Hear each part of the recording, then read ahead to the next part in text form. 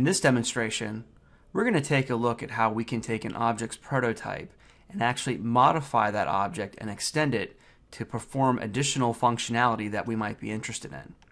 To perform this demo, I'm actually including two third-party libraries. I'm going to be using jQuery and I'm going to be using the QPromise library. So down here I've set up my two deferred objects. I have an object called first deferred and a second object called second deferred. And basically what I want to do is I want to chain these two promises. So I have first deferred dot promise, and then hanging off that promise I have a then statement, which is then, then going to execute another function once that first promise is resolved.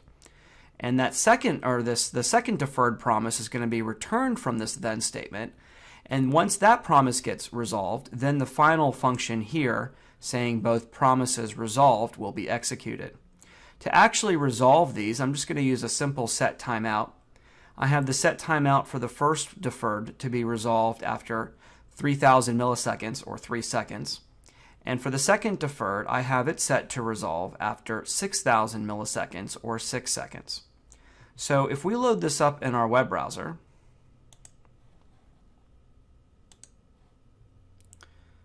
we'll see that after 3 seconds, our first promise is resolved. Then after 6 seconds, our second promise was resolved. And then in the end, both promises were resolved. Now, typically when I set up promises, I get tired of actually having to wrap these chained promises inside of a function. So sometimes I like to do this.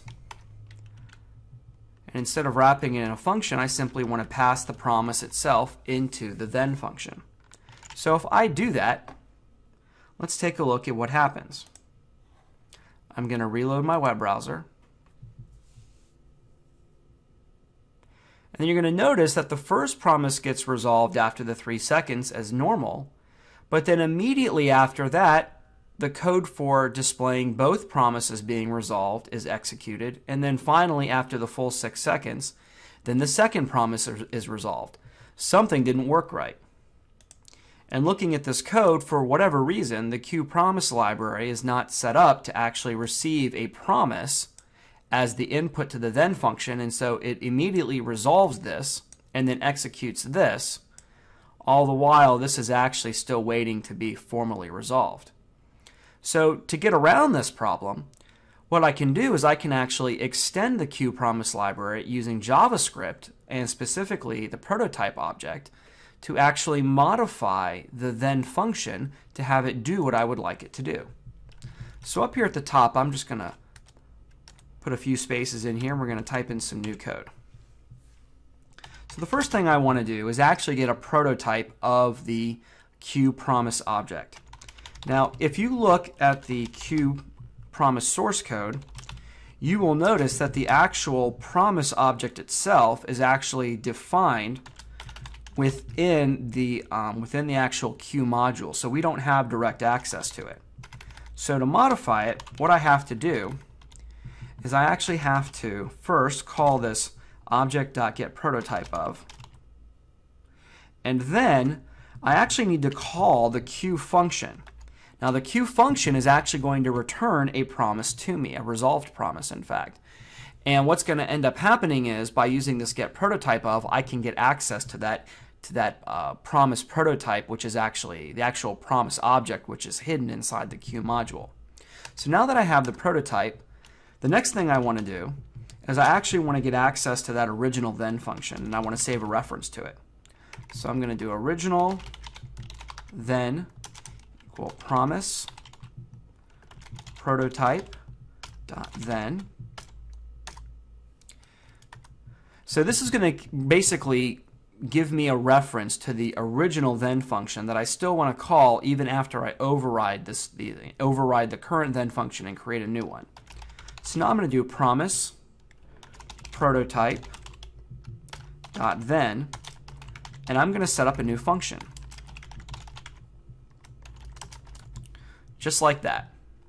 And so now what I want to do is I actually want to write an if statement and I actually want to check to see if what I'm passing in is itself a promise, which is actually the goal of my change. So I'm actually going to pass in arguments, 0, all right, And so I'm going to say that if this is a promise, then what I really want to do is I just want to return the promise. So I'm going to come in here and type arguments 0. However, if what I pass in is not a promise, then what I want to do is I actually just want to execute the original then function and have it operate the way that it normally did before I made this change. So I do original then dot apply. I'm going to pass in this as my reference so that everything will continue to work within the object. And now I'm going to make use of a jQuery function called makeArray. And what I'm going to do is I'm actually going to pass in the arguments object into makeArray. And so now what's going to happen is original then will actually execute within the context of it being a part of the current object with the original argument being passed into it. And so using this functionality, I could actually save this. And now without having to modify any of my code down here, my promises will actually execute as I expect them to. So if I go back to my web browser, I can now click refresh The first promise is resolved. The second promise is resolved after the full six seconds, and then finally both promises are resolved.